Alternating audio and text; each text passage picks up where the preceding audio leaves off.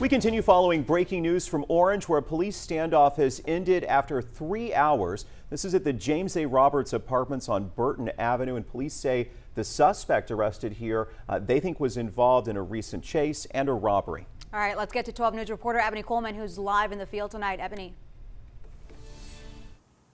Brendan Jordan, just moments ago, there was a heavy police presence right here on the front steps of where Chadwick McMillan was staying. As you can see behind me, windows busted out, even a sign on the front door where police officers threw in smoke bombs. But right now, the scene is clear. The standoff started between Chadwick McMillan and Orange police officers and the SWAT team. That all started before 5 today. Police evacuated residents living in the same building McMillan was hiding in.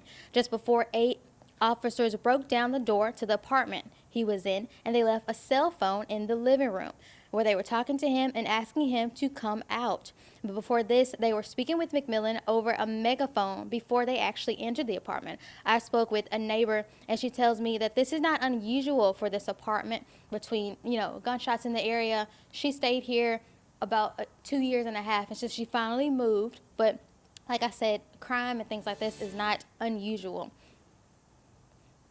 and police tell me that McMillan has an active arrest warrant and they believe he is involved with other, other robberies excuse me, from earlier this week.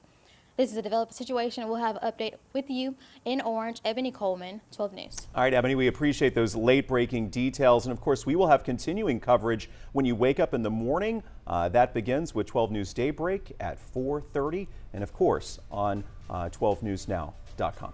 All right, have a good night, guys.